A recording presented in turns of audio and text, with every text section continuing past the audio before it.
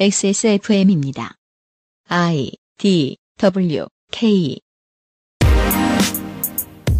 윤세민입니다.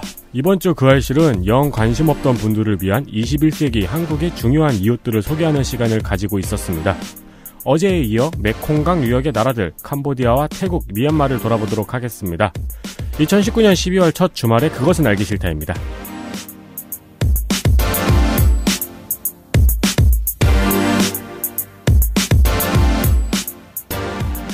안녕하십니까 윤세민입니다. 제 맞은편에 앉아있는 덕질인을 소개합니다. 네, 안녕하십니까. 네, 그리고 프로그램의 메인 프로듀서이자 진행자 UMC를 아니 유피디님을 소개합니다. 한때 그렇게 불렸었습니다. 안녕하십니까. 네, 구글이 말이에요. 네, 얼마 전에 회사를 비판한 직원 네 사람을 해고했대요. 어 진짜요? 근데 이제 그 사유는 사내 데이터 보안 정책을 위반했대요. 비판한 게 아니고 정책을 위반한 건가요? 아니요, 내가 보기엔 비판했어요. 그래요? 뭐 이런 문제인 거예요. 그 비판하면서 사내 이야기를 뭐 밖에 흘렸다 이런 건가? 혐오 발언 유튜브의 혐오 발언 컨텐츠를 구글이 의도적으로 제재하지 않는다. 의도적으로. 아. 네, 수익을 위해서 네. 이런 얘기를 했다가 음. 왜냐하면은 뒤집어 생각하면 혐오 컨텐츠에 노란 딱지를 붙이죠. 네. 그래서 이제 그 광고 수익을 못 얻잖아요? 그럼 이 질문을 자연스럽게 해야 돼요. 그럼 붙을 수도 있는 광고. 광고가 붙었는데 수익이 돌아가지 않는다면 붙은 광고에 광고비가 있을 텐데 그게 어디로 갈까를 생각해 봐야 되죠. 어 그러네요. 보통은 이런 얘기를 해주고 정치적인 평형을 맞춰주고 기업이 사악하게 되지 않게 도와주는 게 노동자들이죠. 네. 노동자가 세력화하면. 구글은 그걸 막기 위해서 창조 컨설팅이 아니라 반노조 컨설팅도 최근에 고용했다는 얘기를 들었습니다. 음 창조 컨설팅일지도 몰라요. 그렇겠죠. 그 미국 그럼 한국 입장에서는 국가의 기룬이죠, 기룬. 이런 게 수출되다니. 미국의 그 유명한 회사 있잖아요. 탐정회사 커핀이 아니고. 지금 구글이 노조 탄압에 지금 골머리를, 그러니까 노조 탄압에 머리를 쥐어짜고 있는 듯한 분위기입니다. 음 네. 핑, 핑거톤. 핑커튼. 유럽의 많은 사례에서 보았다시피 그 노동운동이 정치적으로 목- 정치적인 목소리를 낼 수 있는 핵심은 연대 되겠습니다. 만국의 노동자가 연대하려면요, 그 만국에 대해서 알 필요가 있습니다. 그렇죠. 우리 지난 시간에 코이카 이야기했는데 코이카 직원들도요. 어, 외국에 사업 나가잖아요 여기저기 그러면은 나가서 선교 활동처럼 막 그 저 예수님 가르치고 그런 거 안 합니다. 안 하겠죠. 그 나라 문화부터 배우죠. 그럼요. 그 나라 말부터 배우고 예의부터 배우고. 네 식문화 뭐 배울 거 많습니다. 예의 뭐 뭐 명절 배울 거 많습니다. 네. 뭐 사실 선교도 제대로 하려면은 네. 그걸 먼저 해야죠. 이렇게 뒤집어서 얘기하고 싶은 거예요. 이게 좌파의 관점이다라고 봤을 때 세계화를 싫어할 수는 있죠. 그건 곧 자본의 세계화니까. 음. 근데 자본의 세계화를 막는 건 노동의 세계화입니다. 저는 그렇게 생각합니다. 노동의 세계화. 노동운동의 세계화입니다. 노동 운동의 세계화. 네. 네. 전 세계적 연대가 필요하다. 그러자면 배워야겠다. 배웁시다. 그렇죠. 지금 정부가 싫어할지도 모르는 얘기를 해보죠. 그 평화 시대가 열려요. 북한가요? 네. 네. 북한에 우리나라 기업들이 들어갈 거 아니에요. 음. 그럼 안 된다고 자꾸 얘기하고 있죠. 시민 그 저 뭐냐 저 진보 지식인들이. 네. 전 뒤집어 생각해야 될 것 같아요. 노조도 같이 들어가라. 못 피한다면 더 빨리 들어가라. 교육해라 가서. 음, 네. 예.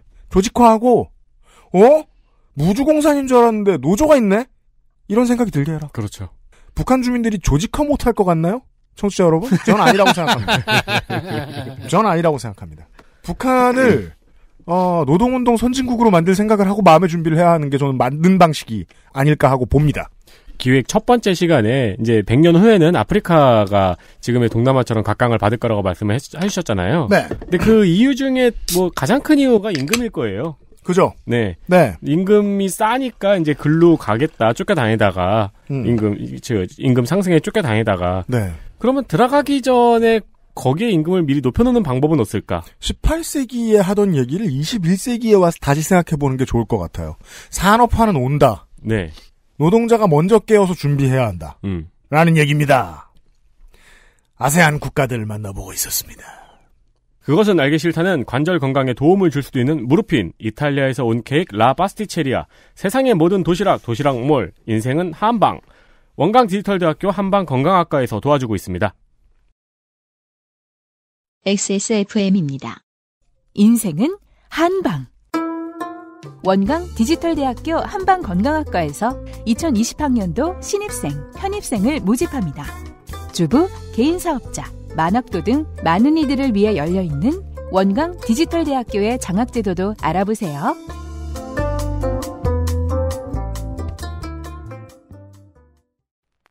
Maestro pasticcere. La pasticceria. 출근 전에 빤도로 챙겨 먹고 나가니까 맛있고 속도 든든하니까 너무 좋던데. 그치. 천연 재료로 만들어진 빵이라 부대끼는 것도 없고 참 좋더라고. 이렇게 식탁 위에 계속 놔둬도 되는 거야? 어, 그렇게 보관하는 거야. 이탈리아 전통 방식인 천연 발효로 만들어서 상온에둬야 더 맛있어. 방부제 들어간 거 아니야? 방부제는커녕 그은한 이스트도 안 쓴다고. 이탈리아에서도 파티에서나 올린다는 고급 음식을 매일 아침 먹을 수 있는 건 우리 동네에서 우리밖에 없을걸? 아무나 만들 수 있는 빵 같진 않아. 당신의 식탁은 매일같이 특별한 날. 이탈리아에서 온 케이크 라 파스티체리아. 그럼요. 빨갱이도 스폰서가 필요하거든요. 네. 12월의 친구 라 파스티체리아에서 크리스마스와 연말 행사를 시작합니다. 빠밤. 그럼요. 빨갱이도 빵은 맛있는 거 먹어야 됩니다. 빨갱이도 종교가 있습니다. 네. 단품 8% 옛날엔 없었습니다만. 단품 8% 왜냐하면 크리스마스에 케이크를 먹어보니까 너무 맛있어가지고. 그리고 인- 종교를 갖게 됐어요. 그리고 뭐. 인도 차이나의 빨갱이들은 불교가 있습니다. 그렇죠. 그럼요. 네. 불교도도 빵 먹어야 됩니다. 그렇습니다. 단품 8%, 패키지 11%, 평소 가끔 하는 할인 행사보다 추가 할인이 더 들어간 상태입니다. 네. 할인을 라파스티체리아가 얼마나 싫어하는지 아십니까? 빵 만드는 것도 싫어 죽겠는데. 네. 이거 전에도 말씀드렸는데요. 이렇게 할인폭이 다른 거 있잖아요. 네. 8% 11% 되게 애매하잖아요. 음. 이건 뭐냐면은 깎고 깎은 거예요.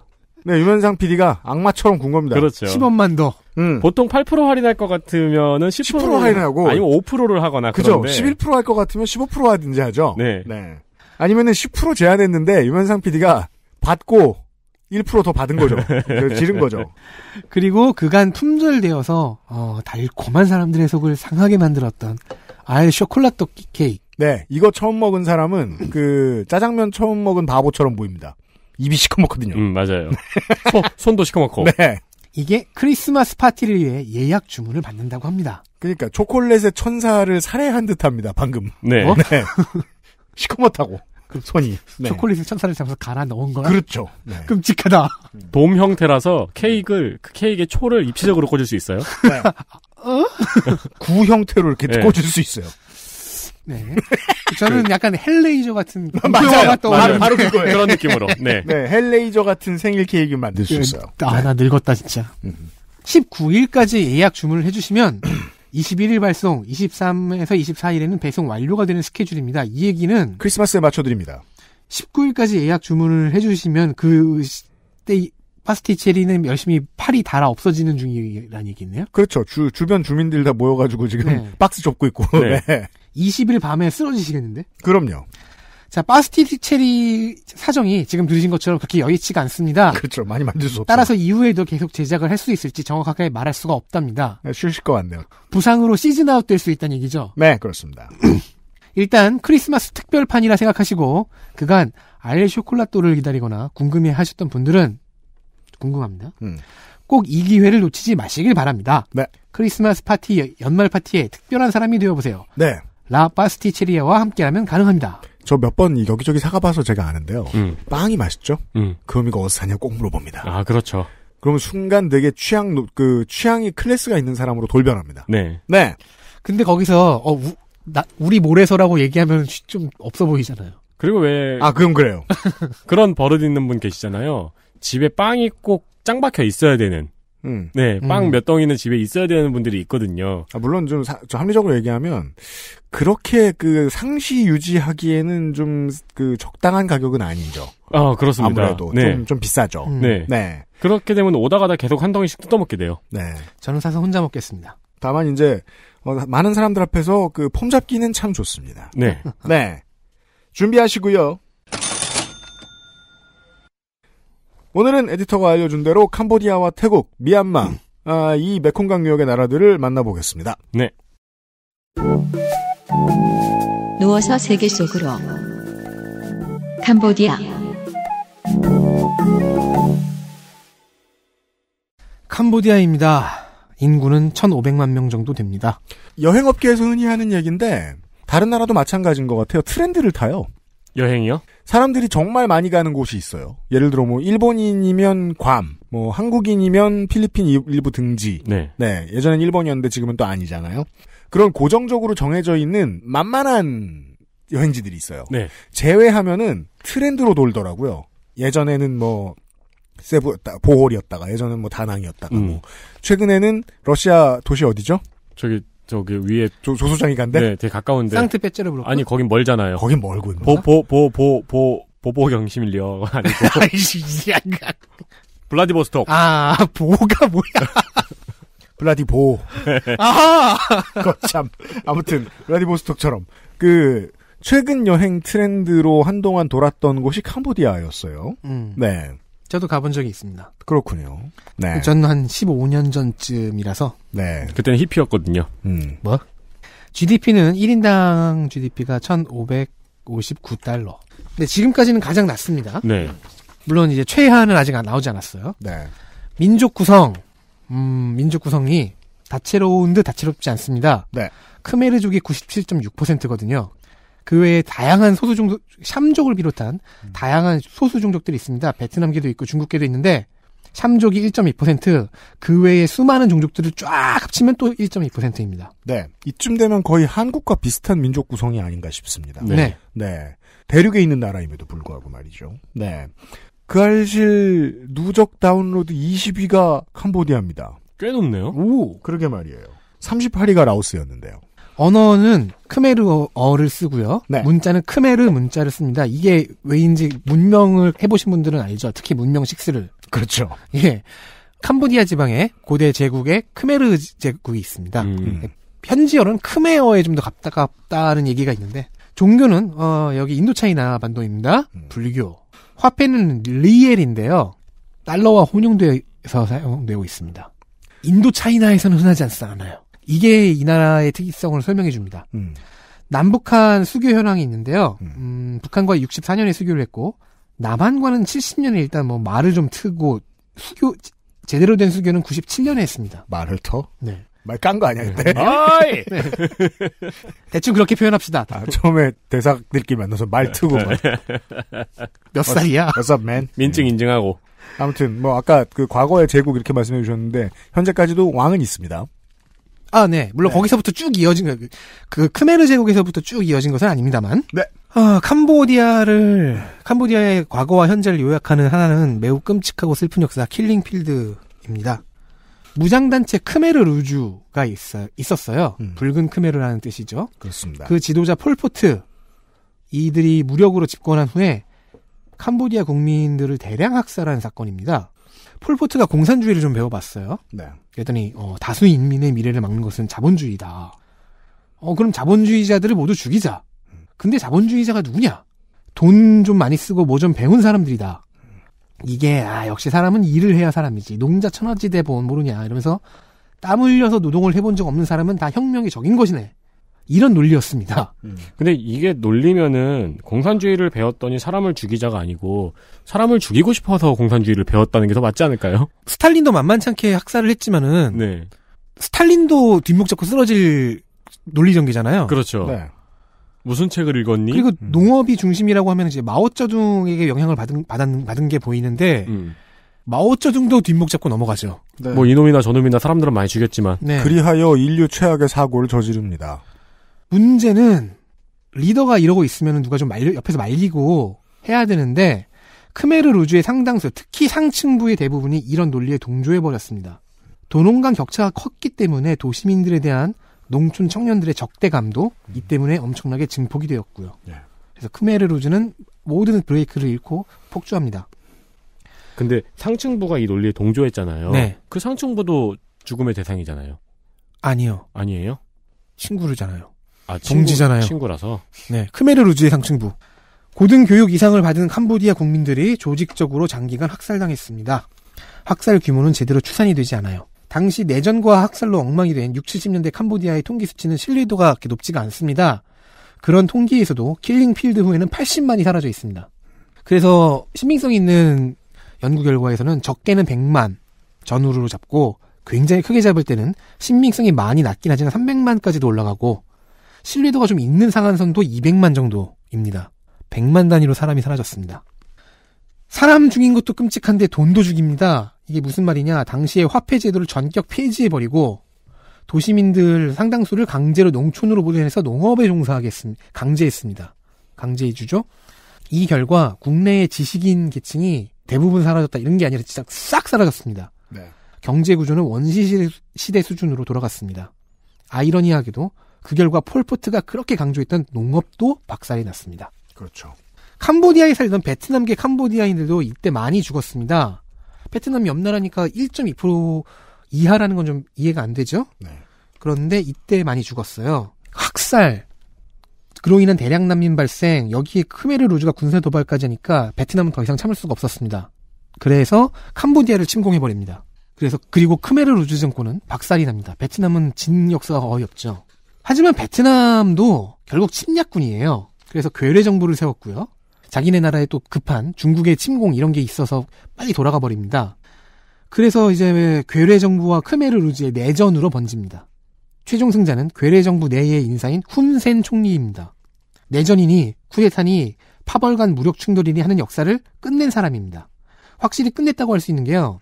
자기가 쿠데타를 일으켜서 괴뢰 정부를 뒤엎고 자신의 정부로 바꾼 게 마침표였습니다. 그래서 이제는 야당 탄압과 언론 통제와 부정선거만 남아 있습니다. 이게 완료된 게 1970, 아니, 1997년입니다. 그렇습니다. 참고로 지금도 총리는 훈센입니다. 즉 캄보디아는 독재 정권이나마 국가가 정상화된 지가 2, 30년밖에 되지 않았습니다. 그렇습니다. 아, 참고로 훈센은 97년 이전에도 총리를 한 적이 있습니다. 자, 최종 승자 훈센의 권위는 진짜 절대적입니다. 다음 왕의 지명에도 총리가 참여합니다. 현 국왕, 국왕인 노로돔 시아모니는 원래 영화학도였어요. 예술에 능한 사람이라고 알려져 있죠. 네. 감독과 말- 발레에 관심이 많아서 프랑스에서 영화 촬영과 발레 강의 등으로 20여 년을 일했습니다. 즉 왕위 계승자가 아니었습니다. 캄보디아는 음, 이 왕실은 되게 특이합니다. 제가 또 왕실 덕후잖아요. 왕위 계승 순위 같은 게 없어요. 그러니까 이 나라 왕실이 좀 독특한 게 후대 왕을 왕실이 못 정하죠. 총리, 상하원 의장, 즉 여기는 양원제입니다. 부의 그 의장만이 아니라 부의장도 와- 오고 불교 종단의 종정 해서 총 9명 정도가 모여서 왕족들 중에 한 명을 선출해서 지명하는 방식입니다. 당연히 이 멤버 중에 과반수 이상이 훈센과 그 측근들이죠. 여기는 명목상이나마 내각제니까요. 그러니까 이게 보통 이 이런 류의 독재 정권인데 입헌군주제인 국가들 같은 경우에 왕을 세워놓는 이유는 국민들이 그 사람 보라고. 인데 이제 그 사람이 딴맘 먹을 것도 두려워한다는 것이지요. 네. 노로돔 시하모니 당시 왕자는 왕위 계승을 거부했어요. 음. 당시 북경에 있었는데 막 노- 방문 잠그고 농성하고 그랬대요. 근데 훈센 앞에서는 그딴 거 없었습니다. 음. 부왕이 이 사람도 참 파란만장하고 약한 사람이 아닌데 부왕이 그러다 왕실이 없어진다라는 간청까지 하자 계승을 승낙했습니다. 왕하기 싫었다는 거죠, 되게. 하기 싫겠죠. 이 부왕도 그 권력을 한번 휘둘러도 받고 하면서 상당히 강단 있는 사람이었습니다. 근데 음. 이렇게 무서운 말을 한 거예요. 그러다가 훈센이 우리 왕실 다 없애버린다. 자, 경제적으로는요. 폴포트의 킬링필드로 인해 초토화된 국가가 초토화된 상태의 수렁에서 아직도 완전히 빠져나오지는 못한 상태입니다. 자국 화폐인 리엘보다 달러가 더 많이 쓰여요. 왜냐면 이 리엘 화폐는 킬링필드 직후 잠시 사라졌지 않습니까? 그렇죠. 네. 네. 그럼 뭐 화폐가 필요하죠. 그 사이에 유입된 달러가 화폐 역할을 꿰찬 상태로 지금까지 온 겁니다. 그런데 역으로 이래서 해외 투자를 받는 것에 맡기는 편해졌습니다. 화폐 정책 펴기는 되게 힘든데 음. 달러를 그대로 넣을 수 있잖아요. 이런 이런 나라에 대해. 네. 그렇죠. 또 현지에서는 리엘화와의 호환도 되게 자유자재입니다. 현지 상인들은 딱히 뭐 환율에 신경을 안 쓴대요. 설마 그러겠습니까마는 뭐 잘 많이 확, 확인을 안 한대요. 네네. 네. 지금 인구가 1,500만 명인데 이 중에 100만 명이 학살을 당했으면 국가로서의 기능은 거의 상실을 했다고 보는 게. 맞네요. 그러니까 최대 3분의 1이라고 하지요. 그러면 그 나라는 망한 거죠. 캄보디아에 가장 필요한 분야는 당연히 사회 간접 자본입니다. 그중에서 도로 개발 사업은 한중일 상부계 회사들이 경쟁을 벌이고 있는 중입니다. 네, 이게 이제 국제사회에서 아세안 플러스 3의 내부 경쟁이라고 볼 수 있습니다. 아세안이 지금 당장 가장 많이 수입해야 되는 것은 그 내부에서 가장 잘 된 나라든 잘 안 된 나라든 결국 인프라 코어인데 이것을 수출하기 위해서 한국, 중국, 일본, 대만이 싸운다는 거죠. 작년에는 한신공영이 국도 하나를 개보수 및 확장하는 4년짜리 사업을 수주했는데 공사비가 우리나라 돈으로 무려 909억 원. 당시 기준으로 하면 역대 최고액이었습니다. 중국의 한 건설사는 수도 프놈펜시에 들어서 고친 건물을 현지 기업인 로얄그룹과 합작으로 수주했는데 2억 3천만 달러 프로젝트였습니다. 그러니까 이게 이런 거대한 프로젝트가 있을 때 얘기 나오는 거는 이런 와 큰 프로젝트들이 경제를 움직이는구나 이런 것도 있지만 요런 사업이 있는 걸 보니까 더 자잘한 사업도 엄청 많겠구나 이렇게 네. 생각하시는 게 맞습니다. 네. 네. 어, 돈을 열심히 모으고 정부와 민간이 돈을 열심히 모으고 뭐 원조를 받고 한 돈들을 지금 이런 데다 풀고 있다. 그러니까 음, 오지게 그거죠. 큰 오지게 큰 건물 옆에 다른 작은 건물들도 생길 거라는 거예요. 그렇죠. 그럼 그때도 계속해서 해외의 기술을 필요로 할 거라는 겁니다. 네. 자, 로얄 그룹 현지 대기업입니다. 음. 미디어, 건설, 부동산, 관광, 항, 항공, 무역, 자원가공, 광업, 소매업 등 손대지 않는 곳이 없는 재벌 그룹입니다. 나쁜 놈들이네요. 국가 아닌가요? 국가일 수도 있어요. 어, 훈센 총리의 가족들이 투자자, 주주, 이사 등의 형태로 관련 기업들을 소유하고 있습니다. 그리고 그 정점에는 장녀인 훈 만화가 있습니다. 음. 어, 별로 관련이 없는 얘기인데요. 이명박 전 대통령이 2000년부터 2007년까지 훈센 총리의 경제 고문이었습니다. 아 훈수 떠주는 사람. 관련 없다고요. 네. 아 네. 아니 근데 이 로얄 그룹의 장악도를 보면은 이명박 전 대통령이 경- 고문을 받아야죠. 훈수를 받아야죠. 퇴임 후인 2013년에도 경제 고문을 맡은 적이 있습니다. 순수하게 여담이었습니다. 저는 아무 말 하지 않았습니다. 알았어요. 어, 로얄그룹은 철도 운영권도 독점적으로 갖고 있었습니다. 원래대로 하면 한국으로 말할 것 같으면 구경이어야 되는데 이게. 네. 네. 네. 구경이라고 보는 게 맞겠네요. 아니 근데 근데- 구경과 다른 점이 있다면 이건 소유했잖아요. 네. 개인이. 네. 그런데 푸놈펜에서 출발하는 두 개 노선이 있어요. 음. 근데 10년 동안 이걸 로얄 그룹한테 독점으로 운영하게 해줬다니까 해주니까 엉망진창이라고 금년에 훈센 각하 아니 훈센 총리께서 경로하시었습니다. 이 얘기는 뭐냐 로얄 그룹이 훈센 총리 밑에 확실하게 있다는 거죠. 음. 역전될 일은 없다. 그렇군요. 한편 푸놈펜에서 타이로 가는 직행 노선이 45년 만에 복원이 됐어요. 철도가요? 그래서 금년에 개통이 됐습니다. 네. 중국도 교통건설 프로젝트에 지원을 해주기로 뭐 약속을 했다 이런 소식들이 들려옵니다. 그렇습니다. 이런 뭐 슬픈 역사도 있지만 다른 일로라도 그 아세안 국가 중에서 가장 최근에 타국과 무력 충돌이 있던 나라입니다. 태국과 인접 지역의 사원이 이제 예. 유네스코 세계 예 유네스코 세계유산이 되는 문제 때문에 음. 군사 충돌을 했던 적이 있었어요. 네. 네. 시- 시엠립 그 근방에 있는 프레아 위헤아르 템플 네. 이런 사원인데 네. 그리고 라오스에서 얘기했듯이 라오스와도 군사인장이 있었고 그게 이제 2003년이라고 알고 있습니다. 자 뒤늦게 출발한 나라일수록 주된 결제 수단이 더 첨단이 된다는 식의 이야기를 저희가 한 적이 있어요. 여러 번 드렸습니다. 네. 저 같은 경우에 케냐의 예를 하는데 동남아시아에서는 캄보디아가 그런 경우입니다. 음. 라오스도 그럴 거고요. 자 어떤 통계에서는요 모바일 송금 시장의 규모가 2017년 캄보디아 GDP의 반을 차지할 정도로 성장했다고 하는데 오, 한국 신뢰도는 약간 떨어집니다만. 절반이면 사실 한국은 그 정도면 영원히 오지 않을 미래일 수도 있을 것 같아요. 음, 네. 근데 이게 과장이라고 해도 이런 식의 과장을 할 정도로 성장하고 있거나 그렇게 기대가 된다는 얘기죠. 그러면 그날은 곧 오죠. 지금 오지 않았더라도. 일단 해외로 나간 노동자들이 송금해 오는 돈 때문일 가능성이 있지 않나?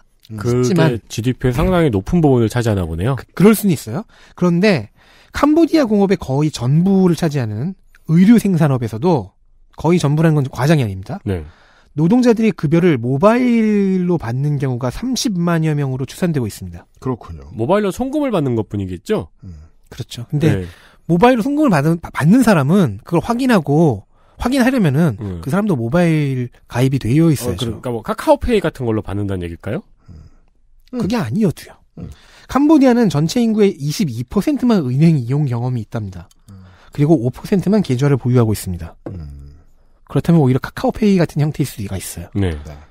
자, 중국이나 케냐 같은 나라가 카드 단계를 건너뛰고 현금에서 모바일로 곧장 갔듯 캄보디아는 상업은행 계좌 기반 체제를 건너뛰고 모바일로 가는 중인 것으로 보입니다. 여기서 이제 문화적으로 재미있는 측면이 어떤 게 있냐면 어, 우리는 절대 경험할 수 없는 이런 나라의 다음 세대 친구들은 돈이 돈으로 안 보이는 체험을 하게 됩니다. 음, 네. 이게 무슨 소리냐? 종이 모양의 화폐, 음, 아, 예. 예, 화폐의 가치를 묻어서 바로 겹쳐서 생각하는 이미지 훈련. 이 안 됐을 가능성이 높다는 거예요. 음. 다음 세대가 아니면 다 다음 세대라도. 네. 예. 그래서 즉 탐, 캄보디아의 핀테크 산업이 유망하다는 주장이 가능합니다. 그러면 돈을 보는 시각이 우리가 하드디스크 남은 용량 보는 시각하고 비슷하겠네요. 그럴 수 네, 있어요. 그렇죠. 예, 느낌이. 그리고 무엇보다 이 나라는 리엘만 쓰이는 게 아니라 달러도 굉장히 자유롭게 쓰이잖아요. 네. 이 두 가지가 합쳐지면 음. 오히려 캄보디아의 핀테크는 국제적인 확장성을 가질 수도 있죠. 음. 한 그- 몇십 년 뒤엔. 오래된 산업화 국가 중 하나인 미국의 단어 중에서는 종이라고 하면 돈을 비어. 의미하잖아요. 네. 페이퍼. 페이퍼, 비어. 네. 그렇게 안 쓰겠죠. 음흠. 이 나라에서는. 여기서 Number? 네. 숫자라고 할 수도 있고. 그렇죠. 너, 넘버도 괜찮네요. 네. 음.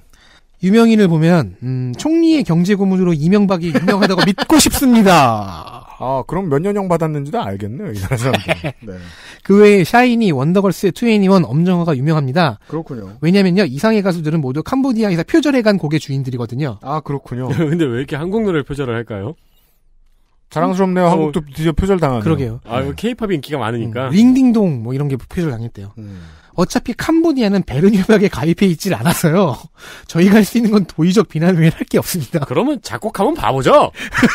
그 상당수 국가들이 지금 이렇죠. 네. 네. 근데 아 도의적 비난은 캄보디아 국민들도 하고 있어요. 음. 뮤직비디오의 기획사 로고를 어, 복사기 로고로 교체하는 등 밈을 만들어주고 있습니다.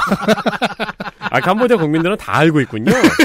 아, 그렇군요. 근데 밈을 만든다, 미- 밈을 만들어주고 있다는 걸서 알수 있듯이 모바일과 인터넷도 어느 정도 들어가고 있다는 얘기입니다. 아, 그렇죠. 진짜로 이게 시대가 옛 같지 않은 게 90년대에 한국 가수들이 일본 노래나 미국 노래 표절하면 네.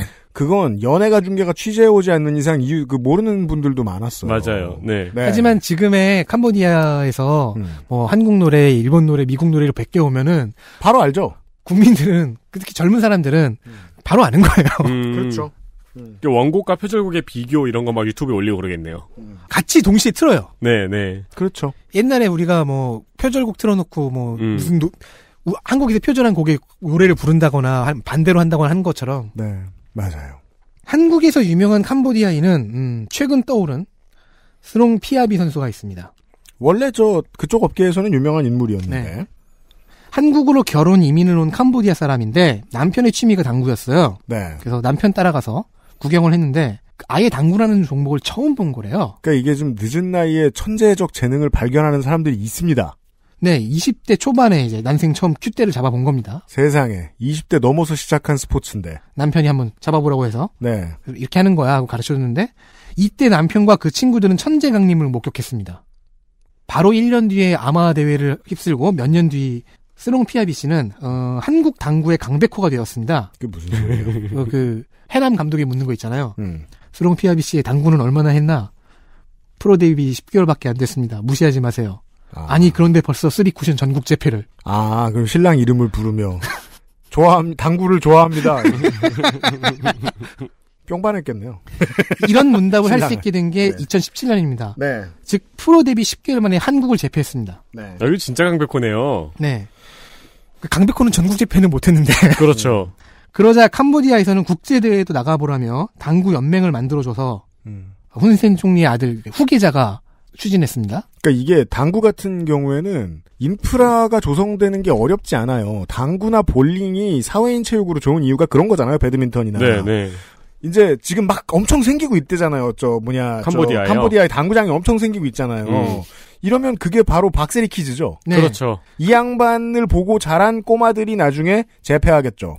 그렇게 해서 국제 대회 참가 자격을 주었습니다. 여기서 우리는 어, 스롱 피아비 선수가 음. 한국으로 결혼을 결혼 이민을 왔음에도 아직 국적이 없다는 것을 알게 됩니다. 그, 뭐, 그렇군요. 최근에는 이 스포츠 선수들이 자기의 커리어를 위해서 귀화를 하는 일이 되게 흔하잖아요. 네. 음. 근데 뭐, 그게 잘 안 된 거죠. 아니, 그리고 이번에 애국심이 또 그걸 허락하지 않을 수도 있고요. 음. 네. 그리고 1년 뒤인 2018년에는 3 쿠션으로 세계 랭킹 3위가 됐습니다. 네. 이미 강백호는 넘어섰습니다. 물론 그러네요. 제가 그 당구에 있어 좀 땡밥이긴 하지만 그래도 저는 사실 대회 같은 거 좀 본 사람으로서 이해가 되지 않아요. 이건 말이 안 돼요. 이건 말이 안 돼요, 진짜로. 아, 신동엽 씨 같은 경우에 이건 불가능한 일이라고 그랬어요. 아니 왜 그 저 NBA 얘기하면서 그런 얘기 많이 합니다. 좋은 성적을 그, 그 좋은 대학을 가게 돼서 NBA에서 드래프트가 잘 된 아프리카에서 오- 아프리카에서 온 이런 센터 선수들 이런 사람들이 내 고향 동네에 아직도 나보다 훨씬 잘하는 애들이 있을 것이다. 음. 라고 얘기해요.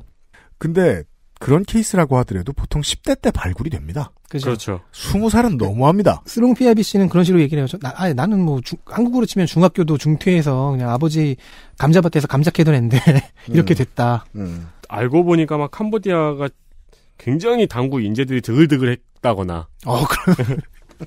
아 근데 신기하네요. 다른 스포츠도 아니고 당구인데 예. 10개월이면 뭐 스트로크가 막 타고났다고 생각할 수도 있겠지만 이 네. 길을 보는 게 10개월 만에 마스터가 된다는 게 너무 신기하네요. 당구는 길을 보는 스포츠잖아요. 그죠. 자세는 제일 처음, 처음 퀴트 잡아봤을 때 이미 완벽했다고 해요. 자, 당연히 이번 정상회의에서 문재인 대통령과 훈센 총리가 만나는 두 번의 자리에 동석하는 역할을 맡았습니다. 그렇군요. 네. 네. 외교적 아이콘 역할을 해줘야죠. 그러네요. 그렇군요. 네. 본인도 그걸 원했고요. 음. 우리가 지금 소개해드리는 이번 주말에 소개해드리는 국가들 중에 한인회가 생긴지도 가장 짧은 역사인 곳으로 알고 있습니다. 예, 그렇습니다. 브루나이는 빼야 될까요? 뭐 한 15년 이 정도 된 것으로 알고 있는데, 음. 네. 이 캄보디아 한인회에서도 무척이나 찾는 인물이라고 하더군요. 네. 그러합니다.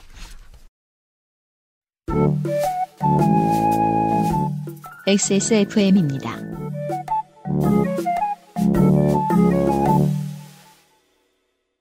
헐, 택배 뭐야?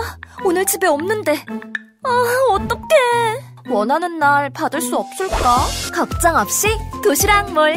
원하는 배송일을 선택하고 주문하는 초간편 주문 시스템. 이제 희망 배송으로 원하는 날에 받자. 배송도 내 맘대로 나를 위한 도시락. 지금 바로 도시락몰과 함께 하세요. 세상의 모든 도시락, 도시락몰. 안 괜찮으시죠? 관절 건강에 도움을 드릴 수 있어요. 관절 건강엔 무르핀이니까요. 한약과 음식을 다스리는 약선 전문가를 육성합니다.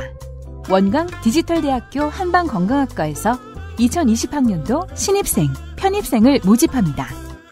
원서 접수는 2019년 12월 1일부터 2020년 1월 10일 금요일까지. 인생은 한방. 원광 디지털대학교 한방건강학과.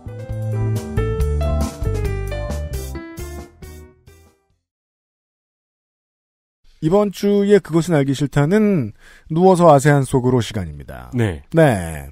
좀 혹시 뭐 운전하면서 들으시거나 걸으면서 들으시는 분이 있다면 제발이 그 자리에서 누우시길 바랍니다. 네.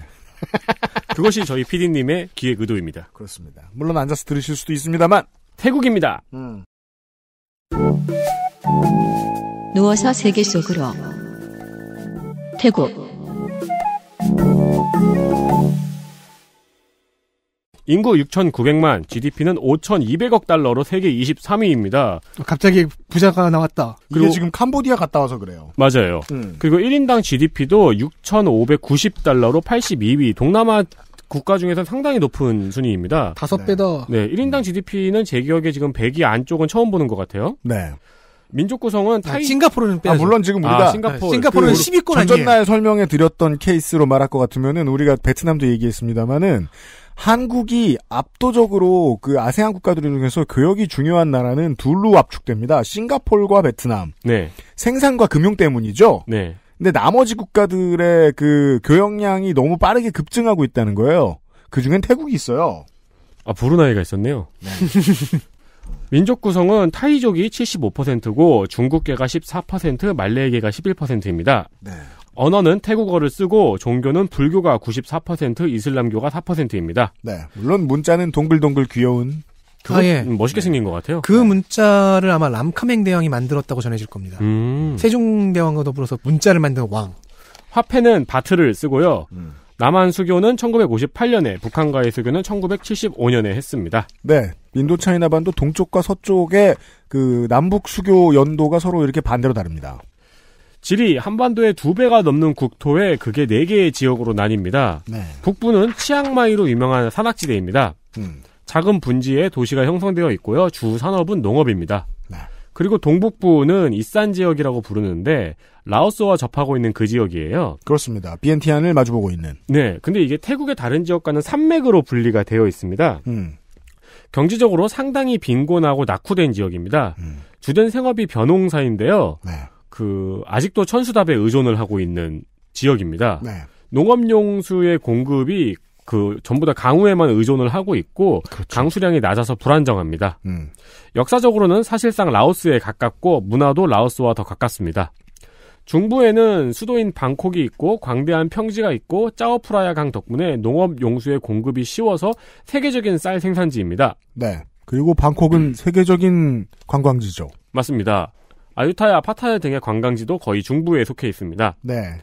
그리고 남쪽 우리가 태국 지도에서 항상 궁금하는 그 아래 꼬리처럼 보이는 부분입니다. 말레이시아와 맞닿아 있는 반도. 네, 네. 말레이 반도의 거의 절반을 차지하고 있습니다. 네. 태국 최대의 관광지인 푸켓과 코사무이가 여기에 속해 있습니다. 그렇습니다.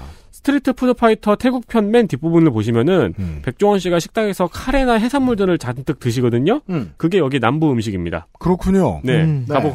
가보고 싶더라고요. 음. 아, 물론 백종원 씨는 그걸 전부 다 중부에서 드셨습니다. 아, 그래요? 네. 네, 네. 중부의 모든 음식이 다 모이니까요. 네. 80년대 이전까지는 주로 쌀을 수출하는 국가였습니다. 20세기에는 세계 쌀 수출국 1위였습니다. 그러나 최근에는 인도의 1위를 빼앗겨 2위가 됐습니다. 여전히 쌀은 많이 팔린다. 맞습니다. 쌀뿐만이 아니고 고무도 수출국 1위입니다. 고무. 고무 고무. 네. 동남아 국가 중에서는 전성기가 한번 지난 나라라고 할 수 있습니다. 80년대에 일본이 태국에 공장을 많이 지으면서 전자제품의 수출 실적이 쌀을 앞질렀습니다. 그렇죠. 네, 당시에는 성장률이 8%에서 9% 정도 됐어요. 음. 특히 전 세계 하드디스크의 40%를 생산할 정도로 하드디스크를 많이 생산하고 최근에는 에어컨, 냉장고 역시 세계 2위 수출국입니다. 예. 미국 및 유럽으로 수출을 하는데요. 이거 여기도 자국의 브랜드는 없고 전부 OEM입니다. 이 OEM 생산을 한- 많이 하는 국가는 공장이 갑자기 빠져버리면은 경제가 휘청하거나 그렇죠. 혹은 혹은 OEM 생산을 하면서 얻어진 기술로 이후에 자체 브랜드를 발전시키는 방향이 있죠. 네, 맞아요. 우리나라만 해도 한 국가 안에 이 두 가지 경향을 모두 볼 수 있습니다. 음, 네. 맞아요. 네. 네. 처음에 OEM국으로 컸고요. 네. 네. 제가 작년에 산 선글라스는 그 명품 선글라스를 만들던 대구의 업체들이 음, 모여서 만든 브랜드입니다. 음, 맞아요. 네. 거기가 OEM이 싹 빠졌잖아요. 네. 네. 은근히 경쟁력 있다고 하더군요. 그렇습니다. 하지만 태국의 경우에는 30년 동안 그런 기반을 형성하지 못했습니다. 음. 현재도 전기 전자 산업은 수출 실적 2위이며 거의 일본 기업이 절반 이상을 차지하고 있습니다. 네. 여기도 부품 자체 생산을 못해서요. 부품 수입하고 조립해가지고 완제품 수출하고 음. 이런 식입니다. 네.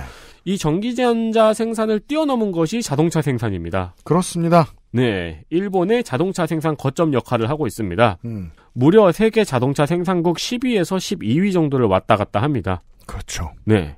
가끔 프랑스를 이기기도 하고 막 그러더라고요. 왜냐면은 프랑스와 스페인이 자동차 생산 공장이 유럽에서 상당히 큰데 네.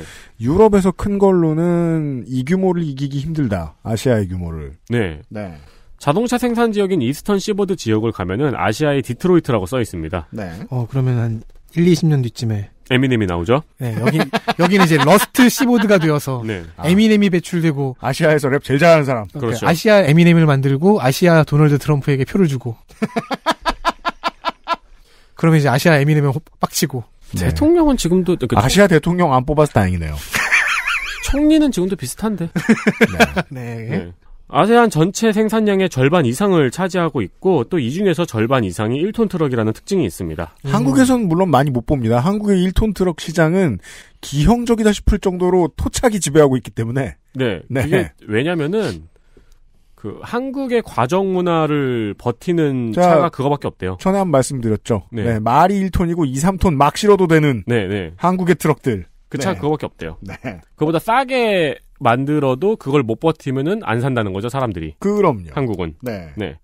부품을 아세안 내에서 60% 이상 생산을 하면은 관세가 제로거든요. 네, 이게 태국의 야심의 근거죠. 맞습니다. 네.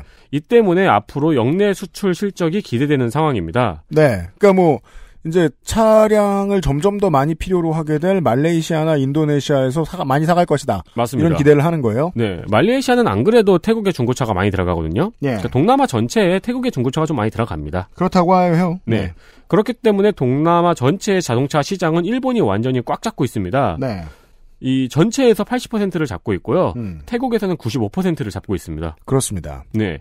현대도 이걸 노리고 베트남과 인도네시아의 공장을 짓고 어 이제 앞으로 이제 일본 기업과 경쟁을 해야 되는 거죠. 제가 자세하게 현대의 향후의 전략을 알진 못합니다만 어, 이건 좀 당연할게요. 동남아 시장용 완성차를 처음부터 개발해서 만드는 공장을 지을 겁니다. 네. 네. 그러니까 무슨 한국의 뭐 제네시스 물량 뭐 뭐 현대차 또 뭐 있냐?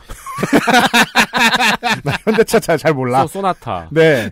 소나타 물량 이런 걸 맡겨 가지고 우리나라로 대들고 오는 이런 공장을 만들지는 못할 거예요. 음, 네. 어, 지금까지 뭔가 제가 경제가 좋다는 듯이 이야기를 많이 했죠. 사실 최근에 들어서는 중진국 함정에 빠져서 모든 수출 실적이 감소세입니다. 그리고 경제가 안 좋아지고 있는 상황입니다. 한국 어른들이 좀 많이 모르는 분야일 거예요. 아세안 국가라고 하면은 다 개발도상국일 것 같고 음, 다 젊을 것 같고 음. 그런데 사실은 일본과 한국이 아세안에 집중하는 이유는 그저 지들보다 젊었기 때문입니다. 그리고 그렇죠. 그들이 세상에서 제일 늙었죠. 한국과 일본이. 근데 실제로 지금 베트남과 태국은 그 빠른 고령화를 체험하는 중인 거예요. 그들이 보기에는 어떤 게 빠른 고령화냐?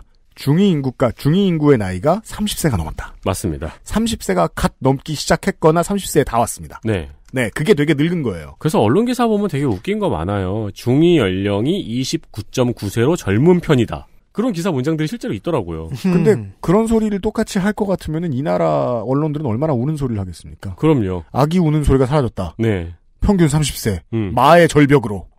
인구 감소세 역사상 최악. 그쵸. 무슨 소리야? 인구 감소세는 역사상 늘 최악이야.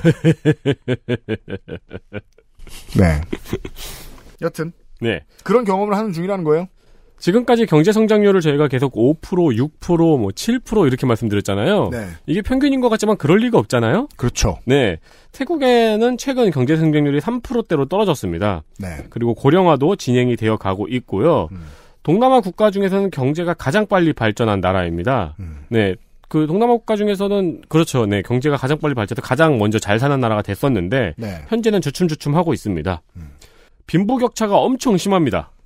그죠. 이거는 참 대단한 거죠. 태국의 국민들이 정치가 그렇게 불안한데 음. 저것도 많고 뭡니까 쿠데타도 많고 좌우 반목도 심하고 네. 그 반공 독재도 상당히 있었단 말입니다 이 나라도 네. 그리고 또 좌우의 내전도 있었고 그 상황에서 경제를 이만큼 태국의 어르신들이 일으켜놨단 말이에요. 음. 네 그럼 뭐가 문제냐 정치가 안 받쳐주면 양극화를 못 막죠. GDP가 1인당 GDP가 6,500달러라고 말씀을 드렸는데요. 음. 동남아 중에서는 좀 높은 편입니다. 음. 근데 지역별 편차를 보면은 그 지도를 보잖아요. 그러면 수도권을 제외하고는 거의 다 3,000달러 이하입니다. 네 그러면 이제 고소득 전문직이라 불리는 만 달러 이상의 노동자들이 소수 있고 맞습니다. 나머지들은 가난하다. 그렇죠. 얘기겠죠. 네.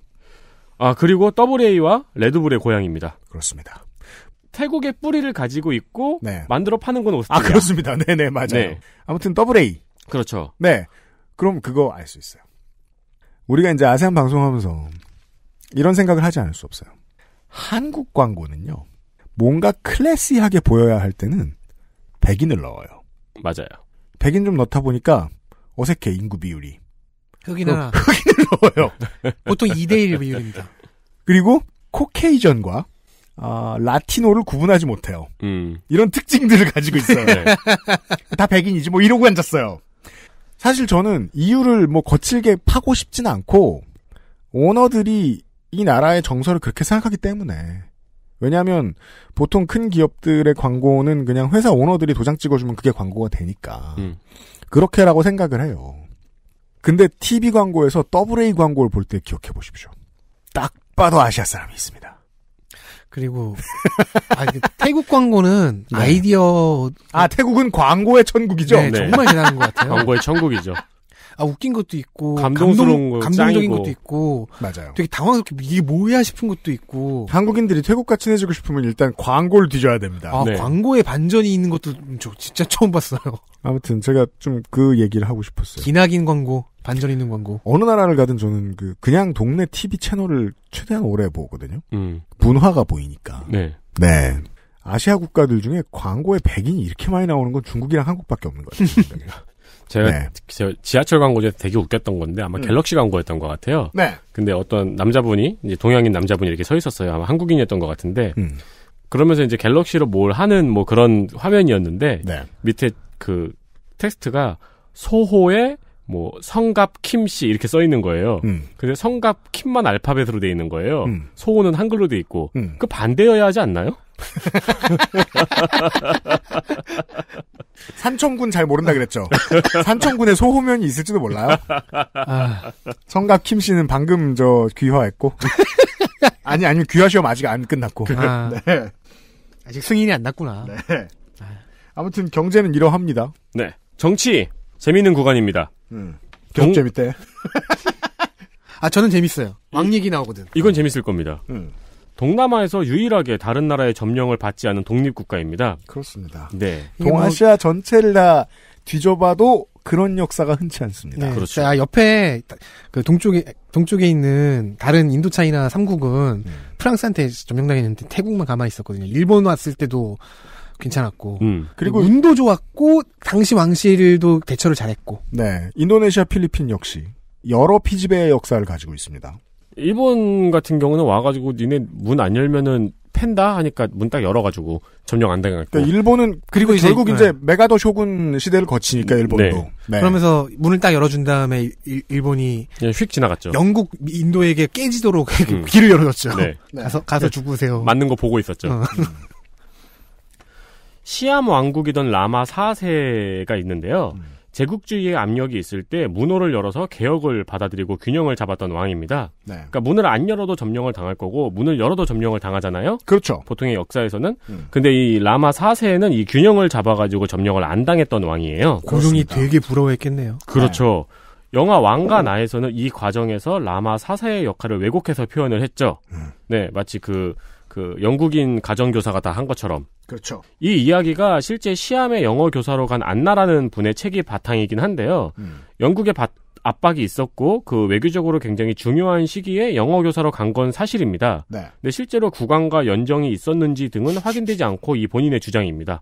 아, 이 연정 문제에 있어서의 팩트 체크는 정말이지. 네. 양자한테 다 물어보는 수밖에 없습니다.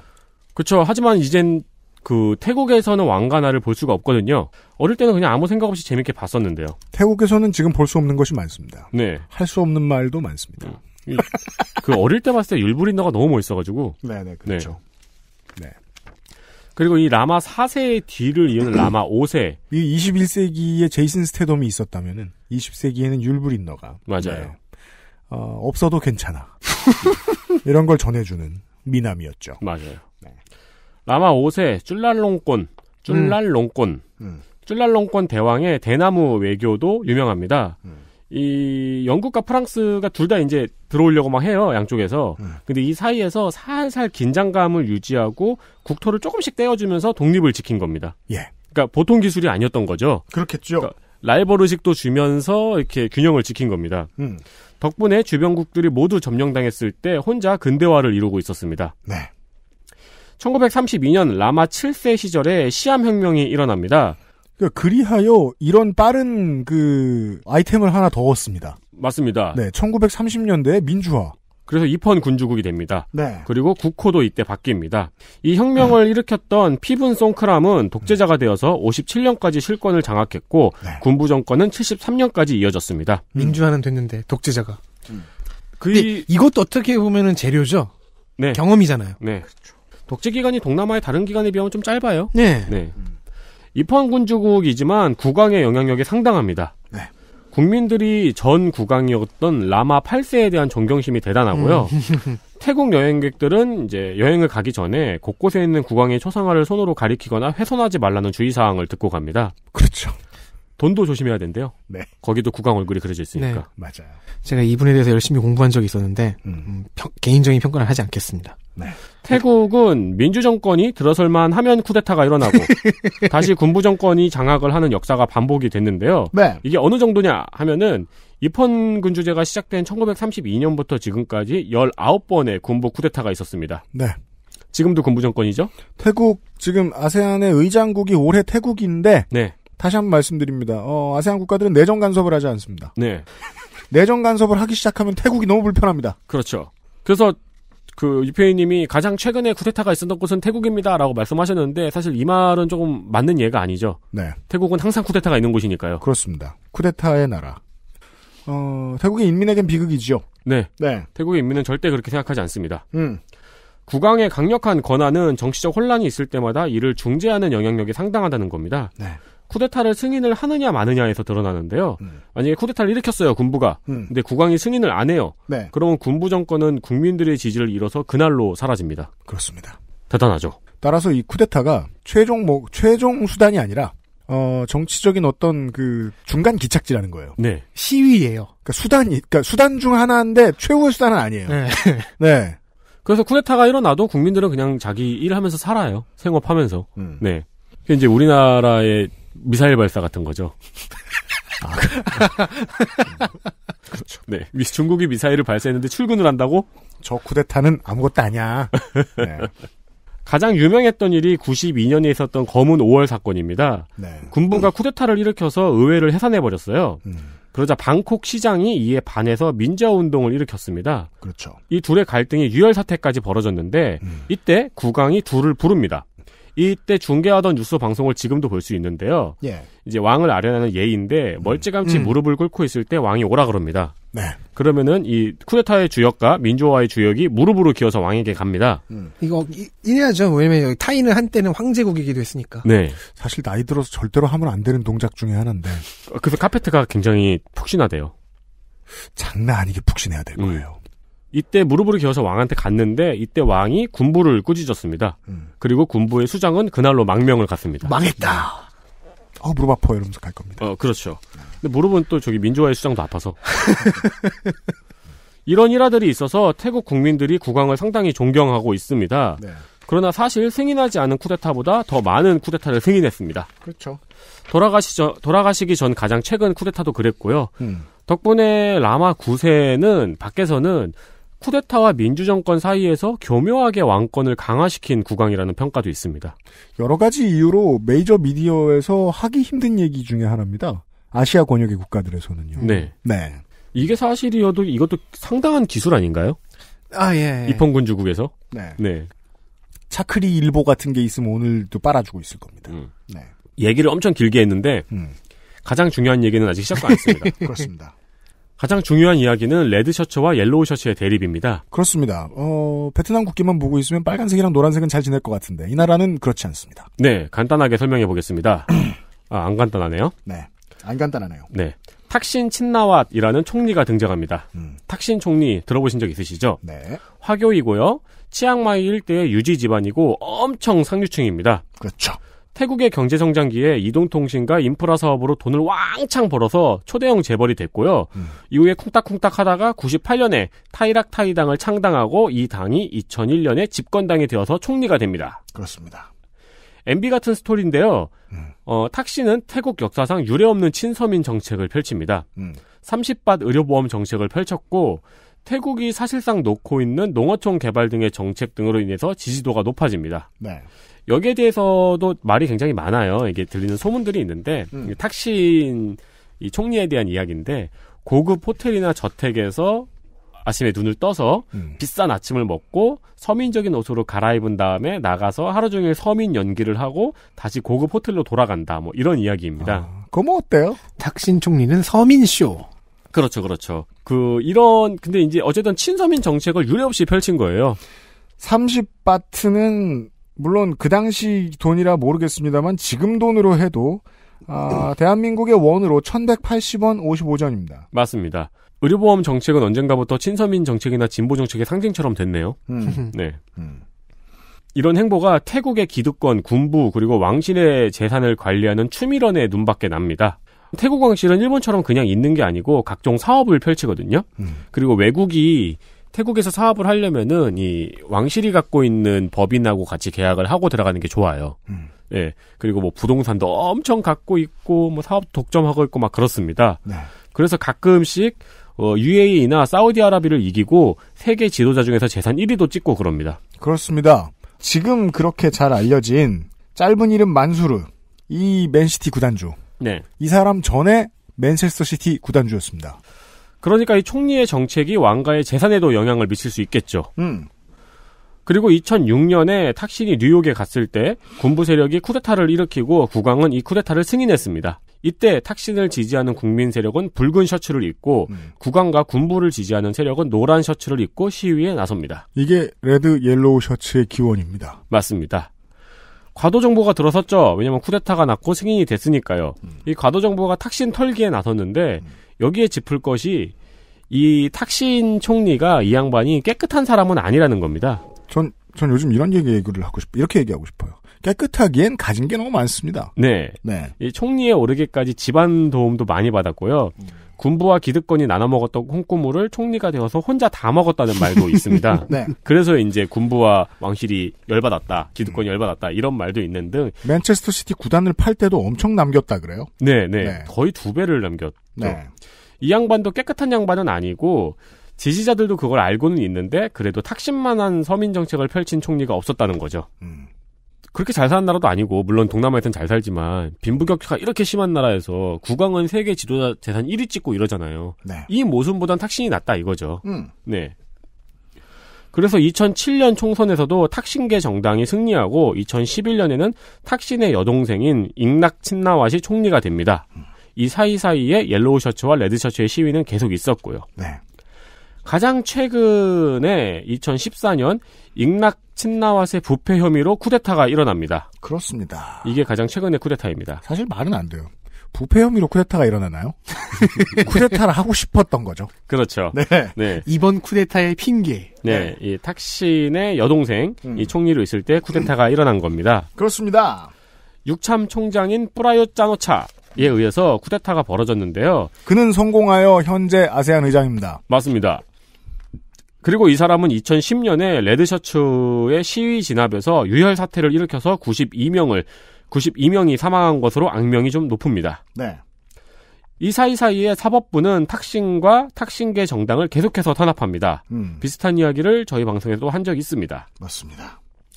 자국 내 재산도 압류하고 어 그리고 푸미폰 국왕은 쿠데타도 승인을 한 다음에 이 민정 이양도 계속 연장하도록 허락해 줍니다. 음. 그리고 다음 총리였던 잉낙 친나와 총리도 지금은 외국으로 망명을 가 있습니다. 2016년 푸미폰 국왕이 사망했습니다. 음. 그리고 라마 10세 마하 와치랄 롱콘 국왕이 왕위를 계승했습니다. 아, 왓지랄 런권. 이 국왕은 우리가 종종 봤던 타투가 있고 크롬 나시를 입었던 그 사람입니다. 네. 왕족답지 않은 몸가짐 그리고 급한 성미 뭐 이런 거 이런 걸로 여러 가지 짤로 알려진 사람. 네, 행실이 참안 좋고 뭐 여러 뭐 스캔들도 좀 있고 그런 사람이긴 하죠. 이 사람의 개도 유명하죠. 네. 그렇습니다. 라마 10세 그래가지고 그 영문으로 보면 라마 X 써 있어가지고 되게 간지나요. 어 맞아요 맞아요. 네. 래퍼 같잖아요. 아이폰 10 갖고. 네. 라마 X. 근데 이 사람이 특이하게 또 이 사람은 탁신이랑은 친했어요. 네. 그리고 탁신도 왕세자 때 그 현재 이 라마 10세 국왕을 지지하기도 했는데 국왕이 되고 나서는 군부의 통치를 연장해 주는 등 군부의 편을 많이 들어주고 있는 중입니다. 여기까지가 지금까지 태국의 정치 지형입니다. 그리고 2010년에 이 군부가 계속 민정 이양을 안 하고 있었어요. 2019년에 총선이 있었거든요. 그리고 2019년에 총선을 앞두고 약간 이벤트가 있었습니다. 왕가의 공주이자 장녀였던 그러니까 현 국왕의 누나죠. 예.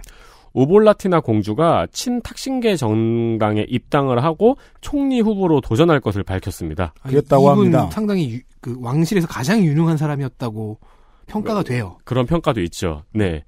어, 그러니까 이제 왕가하고 이 친서민계 정당하고 지지자들이 싸우고 있는 건데 왕가의 누나가 왕가의 장녀가 큰어른이 그렇죠. 이 친서민계 정당으로 들어가서 총리로 나가겠다고 하는 거죠. 그렇죠. 엄청난 변수죠. 음. 네. 그리고 빅 뉴스였고요. 그런데 동생인 국왕이 이에 대해서 반헌법적이라고 반대를 했고 결국 성관위가 부적격 판정을 내려 헌법재판소가 위헌정당이라고 판단하면서 정당 자체를 해산해 버렸습니다. 그리고 2019년 총선과 총리 선거 결과 쿠데타를 일으켰던 뿌라윳 짜노차가 30대 총리가 되었습니다. 네. 소감은 한 가지입니다. 이런데도 열심히 살았다. 태국 사람들. 맞습니다. 네. 훌륭한 사람들이다. 네. 400개 업체가 지금 태국에 진출해 있습니다. 그래서 진출 기업 숫자로만 보면은 아세안의 세 번째 투자 대상국인데요. 어, 근데 기업 숫자로 보면은 베트남의 10분의 1이죠. 그렇습니다. 그리고 투자 금액은 27.6억 달러로 아세안 국가 중에서는 여덟 번째 투자 대상국입니다. 네. 작지 않은 교역국입니다. 네. 삼성전자와 LG전자가 에어컨하고 냉장고를 생산하고 있고요. 포스코, 동부제철, 동국제강 등이 철강 기업들이 들어가서 철강 가공업에 진출해 있습니다. 예. 최근에는 CJ 옷쇼핑의 진출이 성공을 해서 현대홈쇼핑 등의 홈쇼핑과 화장품 프랜차이즈, 식품 프랜차이즈 등의 진출이 활발합니다. 저도 놀러 갔을 때 설빙을 봤던 것 같아요. 뭐, 그, 문화 얘기가 나와서 말인데, 그, 메이크업에 있어서 상당히 다른 나라에 영향을 많이 끼치는 국가로 어느새 변해버렸다는 평을 들었습니다. 유튜브의 시대에 들어와서. 태국 형태의 메이크업이라는 것이 음. 많이 유명해졌다고 하더군요. 물론 그 유래를 정확히 파악할 수 있는 사람은 아무도 없겠습니다만은 저는 아무리 생각해도 그 한국의 많은 물총 축제가 유수의 물총 축제가 음. 태국에서 온 게 아닌가 싶습니다. 네. 태국 설날은 그 뭐 잠시 후에 마지막 미얀마 시간에도 말씀드리겠습니다만은 미얀마 태국의 설날은 4월 아니면 5월에 걸쳐 있습니다. 그 나라 달력에 따라서 그때 물총 축제 있지요. 그 유명한 송크란입니다 이게. 네. 음. 네. 이게 한국에 건너온 게 아닌가 싶은데요 저는. 여튼 바켓으로 물을 막. 반칙이죠. 네. 그리고 라인을 많이 쓰고 있어요. 라인 많이 쓰는 나라 많죠. 네, 그래서 NHN이 안 그래도 이 태국을 중심으로 해서 동남아 지역 전역에 진출하려고 노력을 많이 하고 있습니다. 그렇습니다. 어, 한국의 라인 프렌즈 shop에 들어가면은 그 해- 외국 여행 안 가도 많은 외국인들을 만날 수 있습니다. 맞습니다. 그들이 하는 대화를 듣고 그들이 하는 대화로 국적을 파악할 수 있다면 라인을 어느 나라가 많이 쓰는지를 알 수도 있습니다. 그리고 이, 이 지금 동남아 시장 같은 경우는 특히나 더 그런데 이 라인을 전파시킨다는 거는 모바일 화폐를 전파를 시킨다는 거잖아요. 핀테크 시장을. 그렇죠. 네. 그래서 결론은 현재까지의 결론은 그겁니다. 한국의 라인 샵에 들어갔을 때 아, 한국인은 안 쓰는구나. 한국인이 웃으면서 얘기하면서 어 블로거 이러면서 지나갑니다. 여튼 많은 외국인들이 라인 프렌즈 샵으로 와요. 블로거 다음에 지읒자가 잘 안 들리기도 할 거고. 그중 상당수는 일본인 아니면 태국인입니다. 아 대만 사람도 있겠군요. 네. 네. 국제 교류 현황 한국 전쟁에 참전했습니다. 음. 현 총리인 뿌라요 총리도 참전한 바 있다고 합니다. 네, 참전을 오랫동안 많은 사람들이 길게 한 것으로 유명합니다. 네. 우리나라의 교육국 중에서는 태국이 18위이고요. 태국의 교육국 순위에서는 한국이 8위입니다. 2010년에 다른 아세안 국가보다 늦게 따로 FTA를 체결했습니다. 예. 일본이 선점한 시장이기 때문에 한국이 많은 노력을 하고 있습니다. 태국 4.0이라고 태국에서 추진 중인 계획이 있습니다. 벌, 네. 벌써 낡아 보여요. 4.0인데도. smart city, smart 산업, 스마트 기업, smart people! 우리가 100번 정도 읽었던 단어들인데요. 네. 어, 여기에 한국의 신남방 정책과 연계한 시너지를 내겠다고 양국이 의지를 다지고 있는 겁니다. 여기까지도 한 100번 읽은 것 같은데. 네. 지방선거 할 때 그 정치 우리나라 정치 컨설턴트들이 가 있나요 거기? 네. 9월 2일에는 태국과 한국이 지소미아를 체결했어요. 네. 네, 이에 대해서 웬 태국과 지소미아라는 궁금증이 있었고 보수 언론이 이걸로 공격을 많이 했는데요. 아세안은 손님들이죠. 아마 네. 아세안 아니라 중동의 국가들도 마찬가지입니다. 한국에겐 손님들이죠. 이걸로 이제 뭐 군소 보수 언론들은 막 뭐 쓸데없는 걸 맺었냐 이러면서 공격을 많이 하더라고요. 그러니까 산업이 뭔지 몰라서 그러는 거예요. 네. 일본처럼 미사일 관련 정보 공유를 한다기보다는 방위 산업 협력에 더 무게감을 둔 지소미아입니다. 네. 태국도 우리나라의 배랑 전투기를 사가는 나라거든요. 그렇습니다.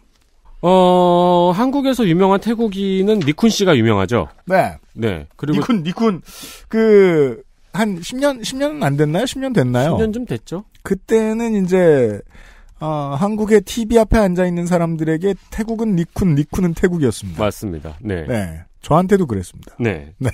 그리고 저는 몰랐는데 블랙핑크의 리사 씨도 태국인이라고 하시더라고요. 저는 그분을 모릅니다. 그러니까 저도 블랙핑크라는 그룹 이름만 알아가지고 네. 이분을 몰랐거든요. 네. 근데 일단 이걸 했으니까 찾아봤잖아요. 너무 모르는 건 공부하지 말라고 시켜야겠다, 앞으로. 그리고 갓세븐의 뱀뱀 씨도 태국인이라고 합니다. 그렇군요. 이, 이렇게 저도 이 뱀뱀 씨도 누군지 몰라서 이렇게 읽는 게 맞는지도 모르겠어요. 네. 네.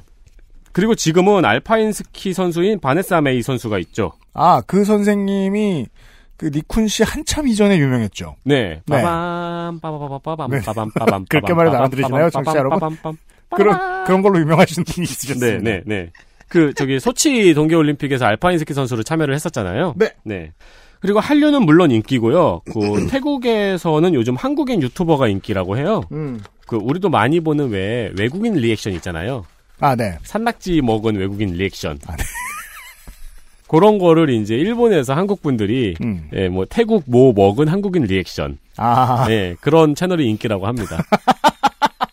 그렇군요. 그런 것도 뭐, 아, 저는 그렇게 나쁘지 않아 보여요. 음. 어, 네. 이, 그런 저 나라 음식 중에 신기한 거 이, 사, 이, 나, 이 나라 사람한테 먹여보고. 그거를 이제 유튜브 채널을 기획하시는 분들이 만약에 악의적으로 이 음. 기획을 하면은 나빴겠지만 그 저 그런 거 많이 봤거든요. 그러면은 이제 좋게 좋게 결말이 나요. 네, 네, 어, 먹을수록 매력이 있네, 뭐 이런 식으로. 그러다가 이제 그 태국어로 욕잘하는 한국분 이런 분이 나와서 인기를 끌 수 있겠죠. 음. 그저 소련 여자 그분처럼. 네. 네. 네. 이건 맞는 소리죠. 오한마로. 그래서 네. 그거 너무 웃겼는데 막 그 그분은 한국어의 달인이시잖아요. 네. 음. 태국을 만나보셨고요. 잠시 후에 마지막 시간입니다.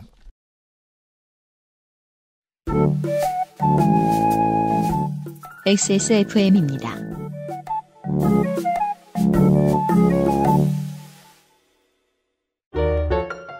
당신의 식탁은 매일같이 특별한 날. 이탈리아에서 온 케이크 라 파스티체리아. Maestro pasticcere. La pasticceria. 국민 여러분, 저는 참담한 심정으로 이 자리에 섰습니다. 유당 정치인으로서 지난 정권의 과오를 반성하고 다시금 국민 여러분께서 저희를 지켜봐 주실 때까지 무릎 꿇고 또 무릎 꿇... 안 괜찮으시죠? 관절 건강에 도움을 줄 수도 있는 무르핀이라면 대국민 사과도 좀 더 잘할 수 있게 도움을 드릴 수 있어요. 관절 건강엔 무르핀이니까요. 뭐가 이렇게 많은 거야? 고민 없이 도시락 몰. 345의 그것은 알기 싫다는 걸어서 아세안 속으로 아 누워서 아세안 속으로 함께 하셨습니다. 마지막 시간을 덕진이 준비하셨습니다. 누워서 세계 속으로 미얀마 인구는 5,400만 명. 음, 이번에도 GDP는 1인당 GDP만 얘기해 보겠습니다. 1,354달러. 음. 저희가 소개시켜드린 나라 중에선 제일 낫네요. 민족 구성을 보면요. 버마족이 68%입니다. 네. 그 이렇게밖에 설명을 못 드리겠는데 그 외 134개 공식 인종이 31.7%입니다. 그리고 로힝야족이 0.3%입니다. 미얀마는 음, 인도 차이나의 문화와 중국의 문화와 인도의 문화권이 만나는 자리에 있습니다. 음. 네. 민족도 다양합니다. 네. 그리고 이 공식 인종이라는 말은 로힝야족을 제외한 인종을 한 의미군요. 네. 네. 언어는 버마어와 버마 문자를 쓰는데 아랍 문자를 쓸 때도 있습니다. 그렇습니다. 음, 로힝야족이 보통 그러죠. 그리하여 우리가 그 태국 라오스에서 보는 태국 라오스 캄보디아에서 보는 그 문자가 아닙니다. 네, 여기는 음, 파스파 문자가 좀 원형이 더 많습니다. 네. 저희는 이렇게밖에 말을 못합니다. 네. 어, 그림 볼 줄 아네. 네. 동그라미 좀 읽었어. 거참 부끄럽습니다. 네. 죄송합니다. 종교는 불교, 기독교, 이슬람교가 있다는데 음, 불교만 불교입니다. 있- 예, 불교만 있다고 생각하시면 됩니다. 네. 나머지 두 종교는 큰 탄압을 받고 있습니다. 아, 이거 우리가 자주 즐겨 쓰는 단어가 됐네요, 3시간 동안. 종교의 자유가 있으나 어떤 종교는 탄압받고 있습니다. 네. 네. 화폐 단위는 짜 짜, 짜트라고도 하는데 짜이 좀더 원어 발음에 가까운 것 같다는 느낌적 느낌이 있습니다. 그왜 바트도 밭이라고 하잖아요. 네. 태국의 바트도. 남북한과는 1975년에 동시 수교했는데요. 네. 음, 우리는 아웅산 묘소 테러 사건을 알잖아요. 네. 83년에 있었던. 음. 그래서 북한과는 1983년부터 2007년까지 국교를 단절 단교가 있 었습니다. 있었습니다. 네. 네. 자, 동남아시아와 남아시아의 접경에 있고 음. 인도 차이나 반도에서는 유일한 영국 식민지였습니다. 그렇습니다. 그래서 태국이 동, 서쪽에서는 영국이 오고 동쪽에서는 프랑스가 온다. 그 상황을 겪었죠. 네. 그래서 이제 근대에는 동쪽보다는 서쪽, 즉 인도, 파키스탄 쪽과 더 교류가 가깝습니다. 많았습니다. 네. 영국의 영향이고요. 대통령제이긴 한데 의회 간선제예요. 네. 그래서 사실상의 내각제로 보기도 합니다. 음. 군부는 아예 독자적인 정치 권력입니다. 그렇습니다. 네. 정식 국호는 미얀마이긴 한데요. 버마로도 불리죠. 음. 둘다 그 사실 둘이 비슷한 단어래요. 같은 어원을 갖고 있는 예. 둘다 주류민족인 버마족의 명칭에서 온 단어죠. 단어입니다. 예, 예. 근데 버마로 부르면 옛날 국호가 익숙한 늙은이라는 의미 외에도 버마족의 패권을 지지한다는 뉘앙스로도 읽힙니다. 그렇죠. 그렇게 오해받을 수도 있습니다. 저 어린 시절에 학교 교과서 지도에는 버마라고 써 있었습니다. 양곤이 수도라, 랑, 랭군 혹은 양곤이 음. 수도라고 알고 있는 저 같은 늙은 분이 많을 텐데 지금은 네피도지요. 2006년에 공식 천도했습니다. 네. 원래 이름은 핀마나라고 하는 정글 한복판의 소도시를 음. 네피도 황제의 어, 황도라는 네. 이름으로 개칭한 후 음. 수도를 옮겼습니다. 네.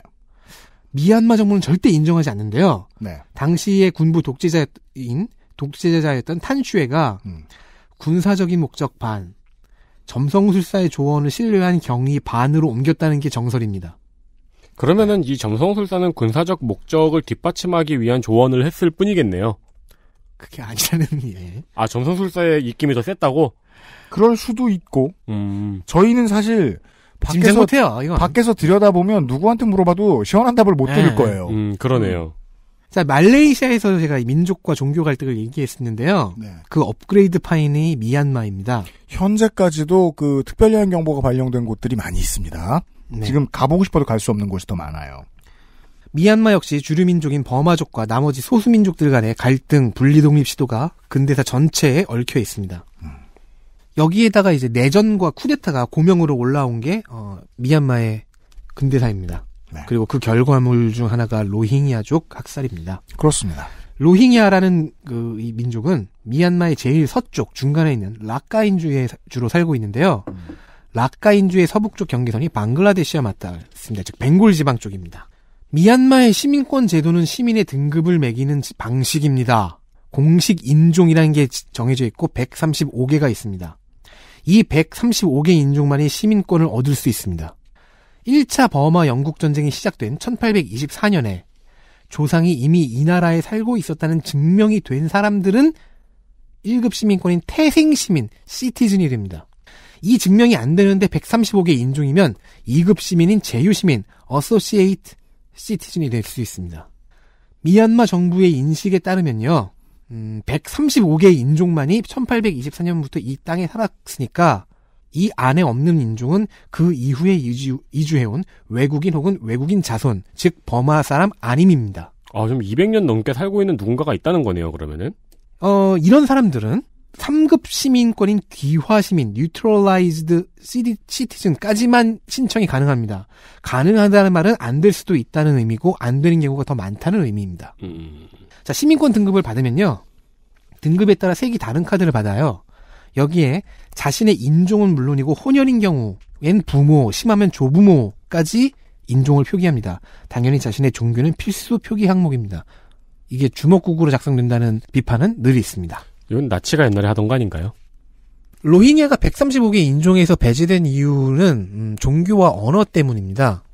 90%가 불교인 미얀마에서 로힝야족은 이슬람교가 대부분의 민족입니다. 그리고 말과 문자가 달라요. 때문에 통일성을 해치는 요소로 인식되어 심지어 이들에게 미얀마어와 문자를 가르치는 기초교육 서비스는 당연히 없었습니다. 학계는 로힝야족의 미얀마 영토 정착이 7세기부터 이루어졌다고 그 보고 있습니다. 어, 이슬람 상인들의 후예일 것이다. 하지만 미얀마 정부는 이런 역사학 연구를 부정하고 이렇게 말합니다. 그들은 미얀마인이 아니라 불법 체류하는 맹골인이다. 심지어 로힝야족이라는 개념도 지역 이슬람 무장단체가 만든 허구다! 라고 주장합니다. 어, 로힝야족 무슬림 일부가 극단주의화해서 무장단체를 만들고 테러 활동을 벌인 것은 사실입니다. 그리고 이들에게 대항하는 불교 극단주의자들도 세를 얻었습니다. 그 와중에 9% 정도인 기독교도 덩달아 탄압을 받았습니다. 이렇게 증오와 복수의 핑퐁이 몇 번 왔다 갔다 하다가 인종 청소 시도로 발전한 것이 로힝야족 학살입니다. 그리고 전 세계 각종 위키 페이지의 관련 항목들은 양측의 주장과 정부와 거짓이 총동원된 수정 전쟁과 반달리즘 시도의 역사를 얻게 되었습니다. 이게 이제 일반 시민들이 21세기 들어서 어, 내전이 생겼을 때 이것에 대해서 자세한 정보를 얻고 싶어도 얻기 힘든 이유 중에 하나죠.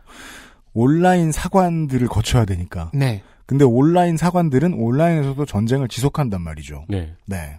미디어와 각종 홈페이지에서요. 음.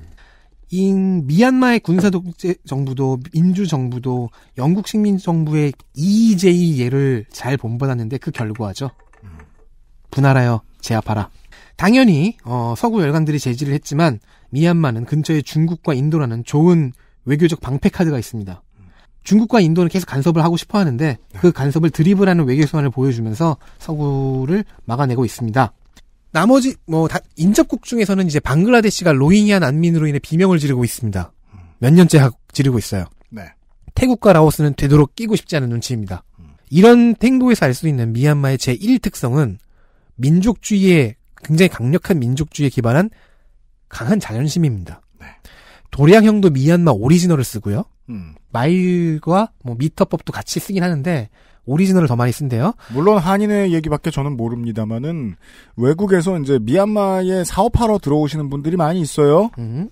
그 여기도 이제 저 뭡니까 간단한 제조업, 경공업, 의류산업 이런 거 하는 공장들 많고 네. 어, 외국 자본들 많이 기다리고 있으니까 들어가서 가장 개고생하는 게 도량형의 문제죠. 음.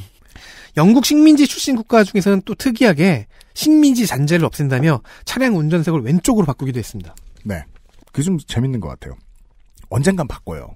마치 한국이 좌측 통행 바꾸듯이 네. 언젠간 바꿔요. 근데 그걸 신경질적으로 되게 빨리 바꿨어요. 네, 음, 미얀마의 안 좋은 얘기를 많이 했으니까 좋은 얘기를 해볼까요? 경제의 앞날은 2011년 민주화 성공 이후 밝은 편입니다. 천연가스가 있어요. 이게 수출 실적이 3분의 1을 책임져 줍니다. 어, 교역액은 비록 라오스, 캄보디아를 간신히 제친 정도인데, 그렇죠. 어, 수출과 수입이 계속 꾸준히 증가하는 중입니다. 그러니까 라오스, 캄보디아, 미얀마는 사실상 이제 저개발을 벗어나는 단계 이 10개국 중에서는 네. 이렇게 봐야 되겠습니다. 근데 여기 함정이 있습니다. 음. 잘 보면 중국에 대한 의존도가 굉장히 높습니다. 그렇죠. 그 미얀마 바로 위가요. 그 관광지로 각광받고 있는 윈난성입니다. 네. 음. 근데 이제 중국 경제 입장에서는 그냥 윈난성처럼 보는 것 같기도 합니다. 그러니까 윈난성의 변방. 교통도 워낙 잘 뚫려 있고 서로 네 예전부터 생산 기지들이 있던 곳들이 많다는 거죠. 네. 그리고 지금까지 우리가 다룬 나라들은 보통 영- 아세안 국가들과 영내 교역이 1위였잖아요. 네. 그걸 보통 일단 깔고 갔지 않습니까? 베트남만 빼고요. 미얀마는 중국과의 교역보다 아세안 영내 교역이 적습니다. 중국이 더 많군요. 네, 아세안이 2위입니다. 그렇습니다. 그래서 한국이 비록 7위 국- 교역 국가인데요. 음. 어, 투자도 많지 않고 그 액수도 그렇게 많지 않습니다. 네. 그러니까 그 이제 우리가 좀 가봐서 한국인들이 여행을 가봐서 아는 대도시 중에는 청도가 있죠. 청도가 이제 거기에 있는 기업들 중에 미얀마에 진출해 있는 기업이 어마어마하게 많다는 거죠. 음. 그리고 중국과 인도가 천연가스와 산림자원을 비롯한 미얀마의 자원을 열심히 노리는 중입니다. 자, 근데 그러자면 좋은 철도와 고속도로를 뚫어야 되지 않겠습니까? 그렇죠. 중국 쪽에서는 그나마 좀 있다고는 하지만 중국 입장에서는 더 필요하다일 거예요. 어, 그럼요. 유엔의 아태위에서는 아시안 하이웨이 네트워크 기획이란 걸 내놓은 적이 있습니다. 어, 운전하신 분들 경부고속도로하고도 네. 관련이 있습니다. 아시아 대륙을 총횡, 종횡으로 가로지는 국제 도- 고속도로를 수십 개 깔거나 지정하는 기획입니다. 그러니까 한국도 뭐 아시아 전체로 말하자면 네. 그 손가락 한 마디만큼밖에 안 되지만 음. 아시안 하이웨이가 있죠. 아, 예. 영목상에. 아시안 하이웨이가 여러 개의 번호가 있는데 1번이 네. 도쿄에서 출발해서 후쿠오카에서 페리선으로 바꾼 다음에 부산에서 서, 서울로 가는 경부고속도로로 가는. 서울을 거쳐서 뭐 평양 지나서 쭉 가갖고 뭐저 그게 아시안 하이웨이죠. 터키와 불가리아의 국경 검소까지가 1번이에요. 네. 아, 그게 1번이에요? 네. 근데 사실 듣기만 해도 졸리지 않으신가요, 청취자 여러분? 왜냐면 저는 이제 부산 서울을 왔다 갔다 할 때 가끔 그 아시안 하이웨이를 봅니다. 네. 아시안 하이웨이 써 있는 게 이제 대구쯤 지나갈 때가 보여요. 그게 보일 때쯤 되면 슬슬 졸려 죽겠을 때거든요. 왜냐면 내가 자고 일어나면 터키지 않을까 싶어서요. 그러니까 내가 부산에서 출발해서 서울밖에 안 가는데도 이렇게 졸린데 이스탄불을 가래. 아이, 거기까지는 안 가겠지. 그 무슨 저 어, 휴게소 100개 이내로 이스탄불 가기 뭐 이런 미션을 생각만 해도 졸리죠? 그래서 미국 시트콤 보면은 그 사람들은 차 타서 게임 되게 많이 하잖아요. 네. 그렇게 되는 거죠. 네, 차내 게임이 되게 발전해 있잖아요. AH1의 그러니까 아시안 하이웨이 1번의 시작은 도쿄 니혼바시입니다. 어쨌든 간에요. 저희 같은 경우에 1번과 6번이 지정될 예정인데 네. 미얀마는 1번, 2번, 3번, 14번이 지나갈 예정입니다. 음. 없으면 깔고 있, 으면 그 도로를 지정해 주는 거예요. 2번의 미얀마 구간은 조금 조금씩 완성되어 가고 있고 1번은 이미 다 완성이 되, 되었거나 지정이 되었습니다. 음.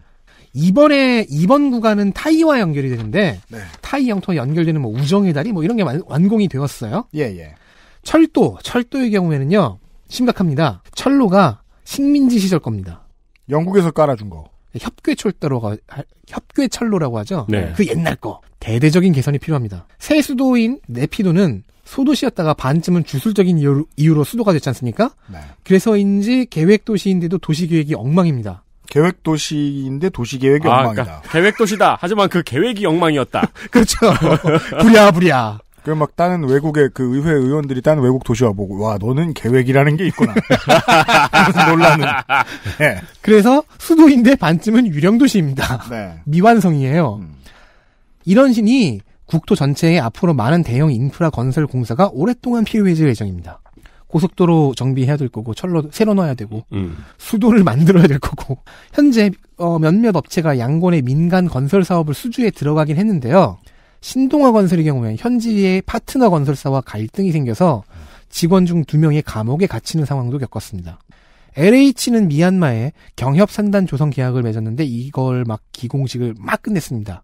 이번에 대- 문재인 대통령이 가서 이 기공식에 참석했습니다. 대통령이 윈민 대통령을 만나서 강조한 사업도 이 사업이고요. 음. 그리고 야, 윈민 대통령은 되게 서민이 이기는 이름이네요. 윈민 아 진짜.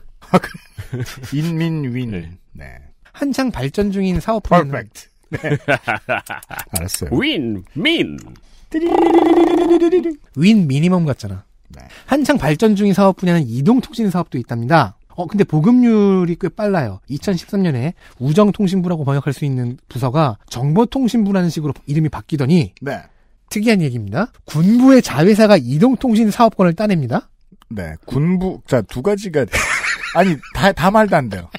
군부의 자회사? 그러니까 왜 군부가 독자적인 정치 세력이라고 말했는지 아시겠죠? 무슨 주식회사 28사단 뭐 이런 거 아니야? 아니, 그게 근데, 가능해요. 아니, 근데 이게 우리가 말도 안 된다고 하는데 중국도 이러잖아요. 자, 군부의 자회사가 이동통신 사업권을 따냈어요. 음. 그러니까 기존에 3, 4%였던 보급률이 10%까지 뛰어올랐습니다. 이게 이제 디테일은 조금 다르지만 이게 화웨이잖아요. 이후 외국 회사들도 진출을 했는데 가장 빠른 회사는 노르웨이 텔레노르와 카타르의 우레두였고 이들이 지원 권역을 넓, 넓혀주면서 보급률이 현재 40%를 넘겼다고 합니다. 예. 야, 근데 진출한 회사가 중국 회사가 아니고 노르웨이 회사라는 것도 놀랍네요. 중국 의존도를 좀 줄여보겠다는 생각일까요? 음. 그리고요, 이건 꼭 얘기하고 싶어서 네. 경제 지표에는 잡히지도 않고 이제는 많이 쪼그라드는 거지만은 미얀마의 한때 쏠쏠한 수출 품목은 마약이었습니다. 첫 시간에 말씀을 드렸겠죠. 그 아세안의 정치적 교류가 많이 높아진 이유는 치안 정보를 공유하여 마약과의 전쟁을 함께 수행하는 것도 있었습니다. 네. 이게 특이한 경우라서 좀 간단히 설명을 하자면 미얀마의 소수민족들이 분리독립운동을 하지 않습니까? 그때의 자금원으로 마약을 고른 경우가 꽤 있습니다. 미얀마, 라오스, 태국의 국경이 맞닿는 동쪽 끝은 동남아의 golden triangle이라고 불렸는데 여기는 샨족의 영역입니다.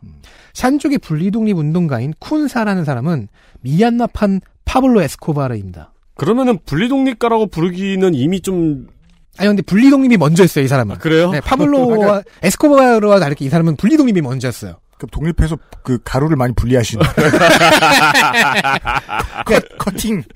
커팅 잘 그러니까 이 사람은 의지가 올고 닿고 네. 현명했고 유능한 리더였고 잔인해져야 할 때 잔인했고 뭐 벌어들인 부를 지역 사회에 환원할 줄 알았고 아무튼 네. 좋은 독립운동가 같아 보이는데 마약왕이에요. 그러면은 자기가 도와준 사람보다 더 많은 사람들의 삶을 몰락시킨 거잖아요. 막 뭐 호주 정부에 아 너네한테 그 약 안 팔 테니까 대신 이 약 너네 정부가 사 뭐 이런 식으로. 음. 쿤사는 근데 말년에 아, 세안이 생기고 그런 식의 협박도 했어요. 네. 니네가 우리의 마약을 안 사면 이걸 니네 시장에 풀겠다. 쿤사는 말년에 이제 아세안이라는 곳이 생겨서 네. 분리 독립이 요원해지고 이제 마약 시장이 쪼그라드니까 마약 미얀마 정부에 투항합니다. 그러면서 샨족의 지위 향상을 협상을 해요. 그리고서는 이제 오히려 미얀마 정부의 보호를 받으면서 광산업과 투자업을 하다가 천수를 누리고 사망했습니다. 되게 유능합니다. 아니 근데 그래서 결국 샨족은 지위 향상을 얻었나요? 135개 종족이 들어갔죠. 그러면 분리독립 운동 분리 독립은 어쩔 수가 없었어. 는 좌절을 한 네. 거고 투항해서 자기는 잘 살고 대신에 이제 그 자기네 종족은 그나마 어, 지위라는 걸 얻었죠. 내부에서. 근데 그러기까지 마약을 팔았고 네, 재밌어요. 그렇게 존경할 만한 사람은 아닌 것 같은데요. 그런데 이- 이 현, 이제는 관광지가 된 golden triangle에 쿤사의 박물관이 있습니다. 뭐 하지만 미얀마에서 마약 재배를 하는 곳은 아직 좀 남아 있다고 합니다. 네. 유명인으로는 아웅산 수치 여사가 가장 유명하죠. 여사라고 부르기도 좀 그렇네요. 이제는 국가 고문이니까 왔다 갔어요 또. 네. 네. 모든 집회에 얼굴이 들어가 있는 독립영웅 아웅산 장군의 딸이며 그 자신도 민주화 운동의 전설입니다. 그의 이력에 있는 명암에 대해서는 과거에 저희가 다룬 적이 있죠. 그렇죠. 군부 정권이 만들어 놓은 헌법이 있어요. 헌법 조항이 있어요. 외국인이 가족이면 대통령 입후보가 불가하다. 아들이 영국 국적인가 그럴 거예요. 그래서 대통령을 못해요. 현재 국가 고문이라는 형태로 실질적 국가 수반 노릇을 하고 있는 중입니다. 미얀마 이야기까지 보셨습니다. XSFM입니다. 안 괜찮으시죠? 관절 건강에 도움을 드릴 수 있어요. 관절 건강엔 무르핀이니까요.